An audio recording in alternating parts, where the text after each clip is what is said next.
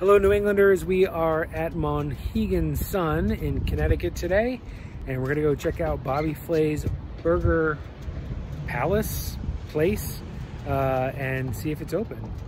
Come with us. So we noticed that Ima's Coffee is gone, and Bobby Flay's fancier restaurant is gone.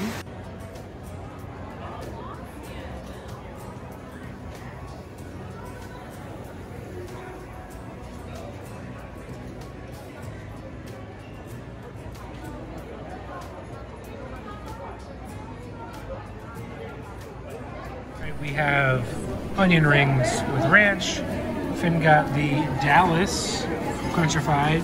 I got the Burger of the Month, which is the Chicago Crunchified as well, and our pistachio shake. I'd have to say the quality and the cook is still there. Customer service is still great. The Dallas was the better burger. The pistachio lacked pistachio flavor, but overall, thumbs up, Bobby Flay.